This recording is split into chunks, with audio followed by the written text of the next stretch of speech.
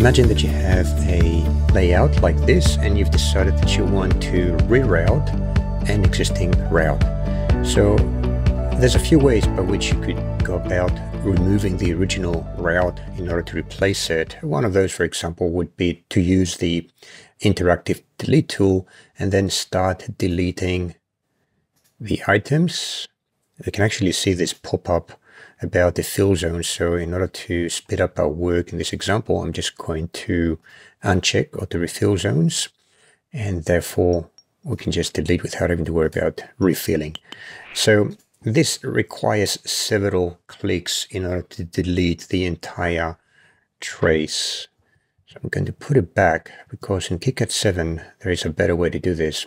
So in KiCad 7 you simply select any segment of the route that you want to delete, right click, click on unroute selected, and then the entire route is gone. So that's a new feature in KiCad 7, unroute selected.